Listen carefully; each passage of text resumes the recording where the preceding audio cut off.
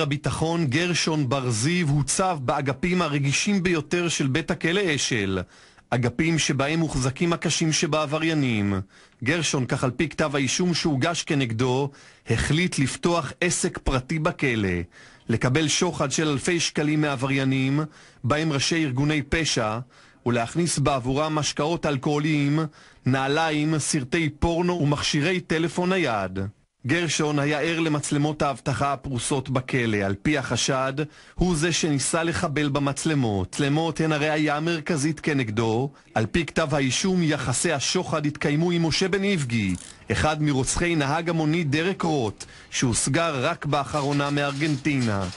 גרשון, כך על פי כתב האישום, נפגש עם אמו של בן איבגי, קיבל ממנה 400 עד 600 שקלים בכל פעם, והכניס לכלא בעבור בנה שקית ובאוכל תקליטורים ונעליים. מה שיש לנו לומר, אנחנו נאמר בבית המשפט, ואני אומר שיש לנו הרבה מה לומר. התעריף בעבור ראש ארגון הפשע חגי זגורי היה גבוה יותר. לפחות שלוש פעמים הבריח גרשון בעבור זגורי סרטי פורנו, אלכוהול ומכשיר טלפון נייד.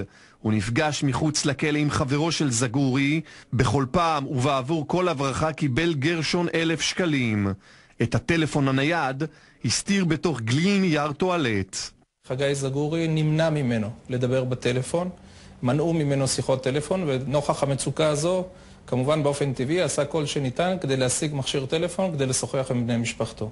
כשנחקר גרשון בידי המחלקה לחקירת סוהרים הוא טען כי כלל לא ידע מה העביר בתוך השקיות שהכניס לכלא. באופן הזה טוענים עכשיו בפרקליטות היה גרשון אדיש לאפשרות שהוא מבריח לכלא חפצים מסוכנים.